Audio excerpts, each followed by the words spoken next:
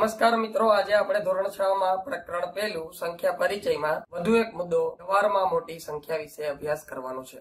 તો, આપણે વ્યવહારમાં ઘણા બધા એકમોનો ઉપયોગ કરી અને ઘણી મોટી સંખ્યાઓને વાપરીએ છીએ.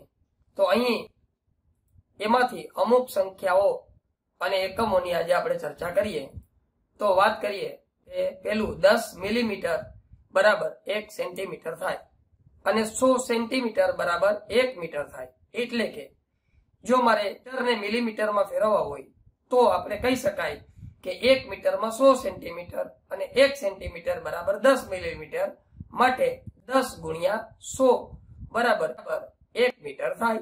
હવે એક હજાર મીટર એટલે કે એક કિલોમીટર થાય. તો કેટલા મિલીમીટર બરાબર એક કિલોમીટર બનાવે છે? તો જોઈએ. હવે એક મીટર બરાબર એક હજાર મિલીમીટર અને એક કિલોમીટર બરાબર એક હજાર મીટર. માટે એક હજાર ગુણ્યા એક હજાર એટલે કે દસ લાખ મિલીમીટર બરાબર એક કિલોમીટર થાય. હવે તમારી સમક્ષ અમુક ચિત્રો છે, જેમાં આપણે જોઈએ સૌ પ્રથમ અનાજનું ચિત્ર છે. અનાજનું માપ આપણે કિલોગ્રામ, ગ્રામ, ક્વિન્ટલ કે મણમાં કરતા હોઈએ છીએ. હવે અહીં કિલોગ્રામ અને ગ્રામનો ઉલ્લેખ આપણે સમજવાનો છે. ત્યારબાદ અહીં શાકભાજીનું ચિત્ર છે, જેને પણ આપણે કિલોગ્રામ કે ગ્રામમાં માપતા હોઈએ છીએ. એનાથી નાનું માપ એટલે કે આપણે દવાઓનું માપ જ્યારે લઈએ, ત્યારે એને આપણે ગ્રામ કે મિલીગ્રામમાં માપતા હોઈએ છીએ. તો મિત્રો, આજે આપણે કિલોગ્રામ, ગ્રામ અને મિલીગ્રામ વચ્ચેનો સંબંધ જોઈએ. તો એક કિલોગ્રામ બરાબર એક હજાર ગ્રામ અને એક ગ્રામ બરાબર એક હજાર મિલીગ્રામ. અહીં તમારી સમક્ષ એક બાલ્ટી છે, જેમાં આપણે કોઈ પણ પ્રવાહીને ભરી શકીએ છીએ. પ્રવાહીને આપણે લીટરમાં માપીએ છીએ. તો બાલ્ટીમાં કેટલા લીટર પાણી સમાઈ શકે એવું આપણે વિચારી શકીએ. એવી જ રીતે અહીં એક કાચની બોટલ છે, જેમાં પણ આપણે જોઈ શકીએ કે કેટલા મિલીલીટર પાણી સમાય તે આપણે વિચારી શકીએ છીએ. આમ, લીટર અને મિલીલીટરનો સંબંધ જોઈએ તો એક લીટર બરાબર એક હજાર મિલીલીટર થાય. આમ, અહીં આપેલા તમામ એકમોમાં કિલો, મિલી અને સેન્ટી જેવા શબ્દોનો આપણે ઉપયોગ કરીએ છીએ, જેમાં કિલો સૌથી મોટું અને મિલી સૌથી નાનું માપ છે. હવે મિત્રો, આપની સમક્ષ એ એક બસની મુસાફરી દર્શાવતો નકશો છે, જેમાં A B C D E F G આમ સાત સ્થળો છે અને અનુક્રમે બે સ્થળો વચ્ચેના અંતરો દર્શાવેલા છે. તો આ નકશાનો ઉપયોગ કરી અને આપણે ત્રણ ઉદાહરણો શીખવાના છે. જેમાં સૌ પ્રથમ ઉદાહરણની આપણે વાત કરીએ, તો જેમાં પ્રશ્ન છે કે બસ દ્વારા એ થી ડી સુધીનું કપાયેલું કુલ અંતર શોધો. તો મિત્રો, આપ સૌને ખ્યાલ છે કે એ થી ડી સુધીનું અંતર શોધવા માટે એ થી બી બી થી સી અને સી થી ડી સુધીનું અંતર શોધીએ તો નકશામાં જોઈએ. તો બરોબર મિત્રો નકશામાં ધ્યાન આપો. તો અનુક્રમે ચાર હજાર ચોત્રીસો અને એકવીસો કિલોમીટર આપણે અંતર જોવા મળે છે, જેનો આપણે ઉલ્લેખ કરીએ. તો હવે અહીં ઉકેલ મેળવીએ કે એ થી ડી સુધીનું કુલ અંતર એટલે કે એ થી બી સુધીનું અંતર વત્તા બી થી સી સુધીનું અંતર અને સી થી ડી સુધીનું અંતર. નકશામાં જોઈએ મુજબ એ થી બી સુધીનું અંતર ચાર હજાર કિલોમીટર છે બી થી સી સુધીનું અંતર ત્રણ હજાર ચારસો કિલોમીટર છે અને સી થી ડી સુધીનું અંતર એકવીસો કિલોમીટર છે. હવે આ ત્રણેય અંતરોનો આપણે સરવાળો એકમના અંકોમાં શૂન્ય હોવાથી શૂન્ય, દશકના અંકમાં પણ શૂન્ય હોવાથી શૂન્ય અને સો માં અંકમાં ચાર અને એકનો સરવાળો એટલે પાંચ અને હજારમાં અંકમાં ચાર, ત્રણ અને બે. નો સરવાળો કરતા આપને ખ્યાલ છે કે નવ થાય માટે નવ હજાર પાંચસો કિલોમીટર એ થી ડી સુધીનું અંતર થશે. ત્યાર પછી આપણે બીજું ઉદાહરણ જોઈએ કે બસ દ્વારા ડી થી જી સુધીનું કુલ કપાયેલું અંતર કેટલું? તો ફરીથી આપણે નકશા પર ધ્યાન આપીએ. તો મિત્રો, આપ જોઈ શકો છો કે ડી થી ઈ આઠ હજાર, ઈ થી એફ ચાર હજાર આઠસો અને એફથી જી બે હજાર પાંચસો કિલોમીટર છે. જેની આપણે અહીં નોંધ કરીએ.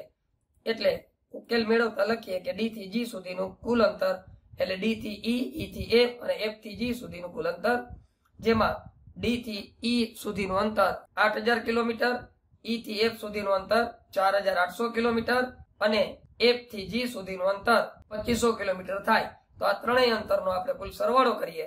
તો મિત્રો, અહીં એકમથી હજાર તરફ જતા સૌ પ્રથમ શૂન્ય, ત્યારબાદ ફરીથી શૂન્ય, આઠ ને પાંચ તેર નો ત્રણ અને વધી એક, એટલે આઠ ને એક નવ ને ચાર તેર, ને બે પંદર. આમ આપણે જોઈ શકીએ કે ડી થી જી સુધીનું કુલ અંતર પંદર હજાર ત્રણસો કિલોમીટર થશે. ત્રીજો પ્રશ્ન જોઈએ.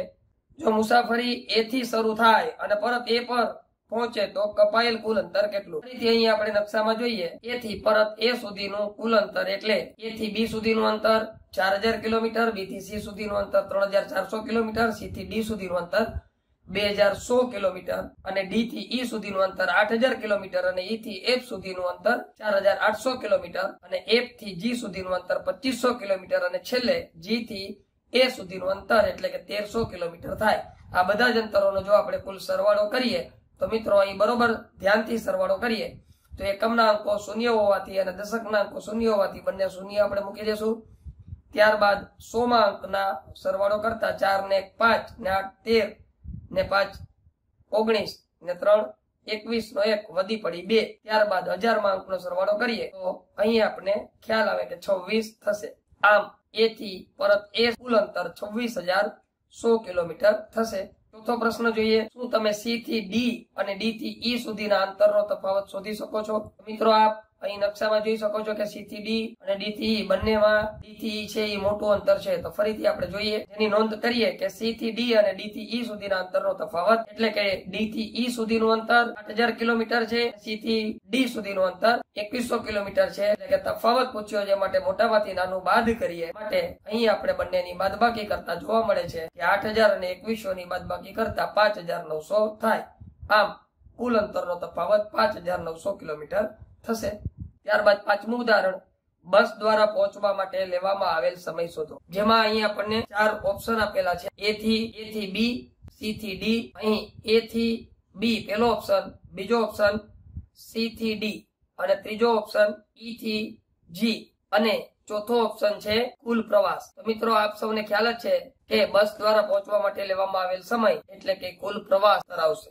મિત્રો, અહીં આપણે એક બીજું ઉદાહરણ જોઈએ, જેમાં આપ જોઈ શકો છો કે તમારી સમક્ષ અહીં એક રમણલાલની દુકાન બતાવેલી છે અને આ રમણની દુકાનમાં અમુક વસ્તુઓ છે અને વસ્તુઓના ભાવ. એટલે કે અહીં પ્રાઇસ લિસ્ટ તમને આપેલું છે. આ ઉપરાંત ગયા વર્ષે કેટલું વેચાણ થયું એ વસ્તુઓના વેચાણની પણ અહીં બાબત દર્શાવેલી છે. હવે અહીં દર્શાવેલી બાબતો પરથી અમુક પ્રશ્નો છે, તેનો આપણે અહીં જવાબ મેળવવાની. તો સૌથી પહેલો પ્રશ્ન છે રમણે ગયા વર્ષે વેચેલ સફરજન અને નારંગીના કુલ વજનને તમે શોધી શકશો? મિત્રો, અહીં આપણે સ્ટેપ બાય સ્ટેપ જોતા જઈએ. તો સૌથી પ્રથમ સફરજનનું વજન બે કિલો, ત્યાર પછી નારંગીનું વજન તો ત્રણ હજાર ચાર કિલો અને તેથી કુલ વજન એટલે કે બે હજાર ચારસો સત્તાવન અને ત્રણ હજાર ચાર બંનેનો સરવાળો કરતા અહીં આપણને સાત ને ચાર નો સરવાળો, એકમના અંકનો કરીએ એટલે અગિયાર, ત્યારબાદ પાંચ ને છ ચાર ના ચાર અને ત્રણ ને બે. પાંચ. આમ, કુલ સરવાળો છે પાંચ હજાર ચારસો એકસઠ થાય. માટે જવાબ આપી શકાય કે નારંગી અને સફરજનનું કુલ વજન પાંચ હજાર ચારસો એકસઠ કિલો થાય.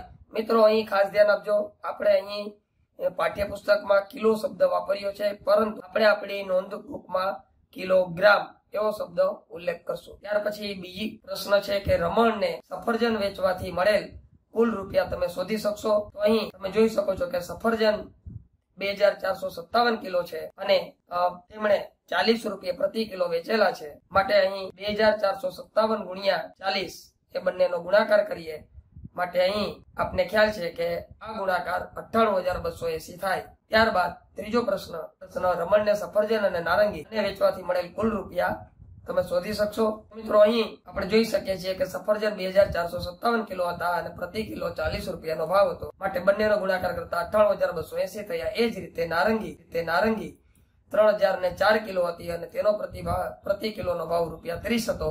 માટે એ બંનેનો ગુણાકાર કરતા આપણને નેવું હજાર એકસો વીસ થાય. હવે આ બંનેનો જો આપણે સરવાળો કરીએ, તો આપણે એક લાખ અઠ્યાસી હજાર ચારસો મળે. આમ આપણે કહી શકાય કે સફરજન અને નારંગી વેચવાથી રમણને કુલ રૂપિયા એક લાખ અઠ્યાસી હજાર ચારસો મળે છે. ત્યાર પછી ચોથો દાખલો, દરેક વસ્તુને વેચવાથી રમણને કેટલી રકમ મળી હતી તે દર્શાવતું એક ટેબલ બનાવો અને ઉતરતા ક્રમમાં મળેલી રકમની નોંધની ગોઠવણી કરો અને કઈ વસ્તુમાંથી તેને સૌથી વધુ આવક થઈ છે અને આ રકમ કેટલી છે. મિત્રો, આ પ્રશ્નોના જવાબ તમારે જાતે શોધવાના છે અને જેના જવાબો તમારે નીચે કોમેન્ટ બોક્સમાં લખવાના છે. અને અહીંયા દાખલો ગણતી વખતે તમને કોઈ મુશ્કેલી પડે તો પણ તમે મારો સંપર્ક કરી શકો છો.